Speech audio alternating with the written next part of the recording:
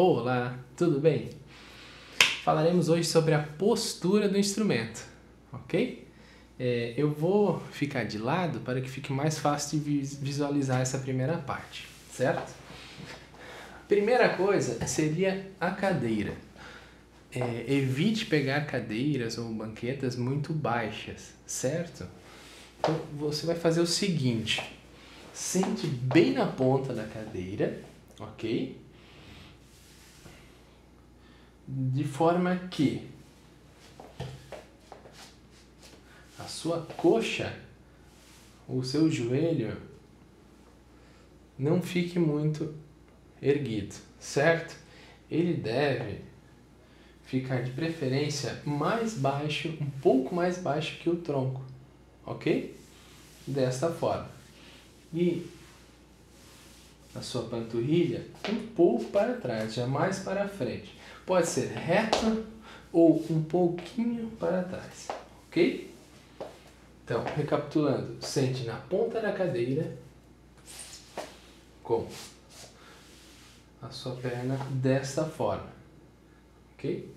A sua coluna deve ficar reta, só pelo fato de sentar na ponta da cadeira já vai ser mais fácil ficar com a coluna reta, ok?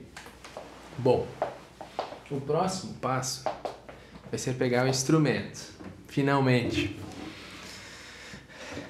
Antes de colocar o instrumento no chão, a gente precisa fazer uma regulagem. Seria nessa peça aqui, que é o espigão. O espigão fica no chão para fique mais fácil de tocar. Ele fica no chão para apoiar o instrumento. E ele tem uma regulagem. Cada pessoa vai ter a sua própria regulagem. E aí a gente vai conseguir achar a sua com os próximos parâmetros que eu vou passar, ok? Então eu vou colocar a minha agora, que eu já sei qual é. E a minha é um palmo e um palmo aberto e a mão fechada, certo? Essa é a minha medida e vou colocar o instrumento no chão. Desta forma. Como que você vai saber a sua altura? É o seguinte. Com o instrumento em mãos, observe alguns parâmetros. Esta curva do instrumento fica mais ou menos na altura do peito. As cravelhas, mais ou menos aqui do lado. E essa voltinha aqui, mais ou menos aqui no final da coxa. Por que, que eu estou falando mais ou menos? Porque todo mundo tem um tamanho diferente certo? Tem gente que tem o tronco mais comprido, tem gente que tem as pernas mais compridas. Então, o que você terá que fazer é pegar esses parâmetros e ir se ajeitando, ok? Mais uns detalhes importantes. É... O instrumento ele vai ficar um pouco virado para a direita Veja, se eu colocar ele reto, seria assim. Eu vou girar ele um pouco para a minha direita, para tocar. E aí eu apoio ele, ok? Desta forma. Veja, não reto, mas sim um pouco curvado. E um outro detalhe muito importante é você deverá sentar reto. E o instrumento será colocado um pouco de lado. Jamais coloque o instrumento reto e você de lado. Olha, certo?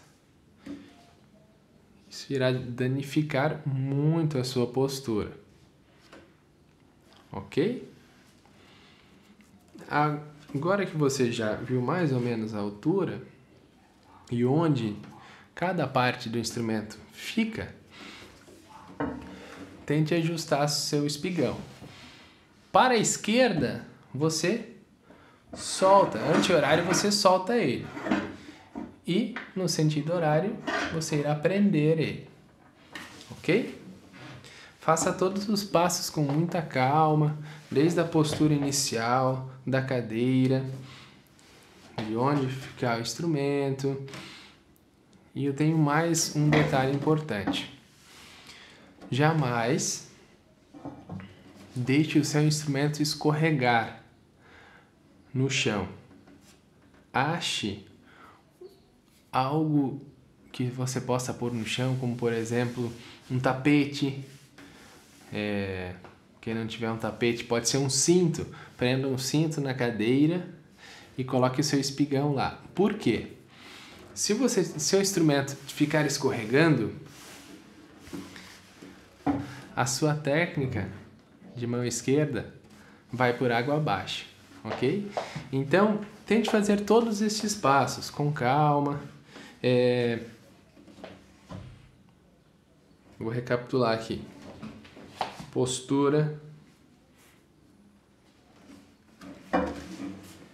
Espigão.